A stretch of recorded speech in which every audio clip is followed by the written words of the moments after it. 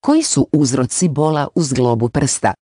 Bolovi u zglobovima prsta koji se pojačavaju kada se pomakne prst, mogu biti posljedica nedavne ozljede, kao što je uganuće ili stanje poznato kao prsti.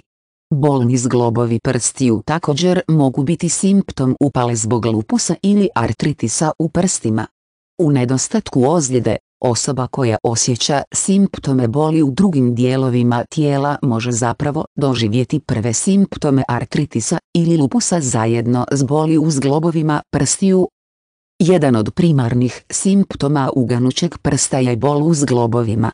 Međutim, drugi simptomi će vjerojatno biti prisutni u isto vrijeme, kao što je osjetljivost kroz prst i oticanje. Uganuće prstiju karakteriziraju poderani ligamenti koji uzrokuju bol u zglobovima prstiju, osobito kada se prst pomakne.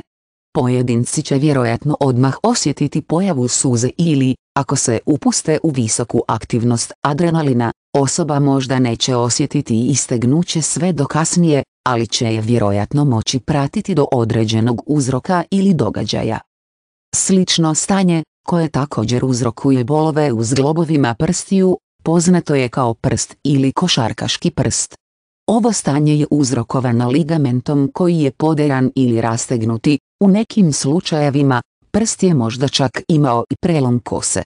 Međutim, osim bolova u zglobovima prstiju, osoba s prstom od udara neće moći potpuno izvući ozlijeđeni prst, a također će izgledati crveno i natečeno.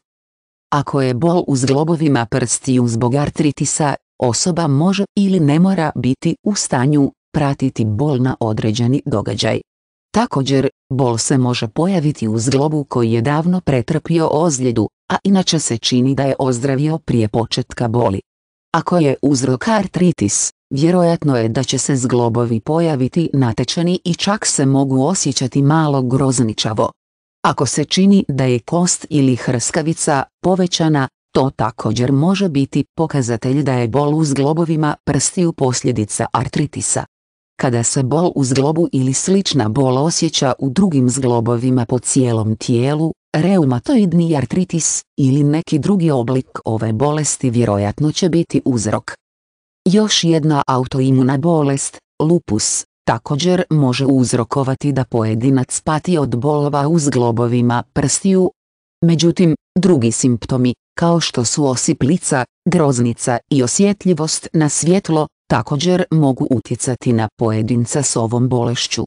Simptomi također mogu doći i otići, ili se čini da su ponekad vrlo loši i da se smanjuju tijekom drugih vremena.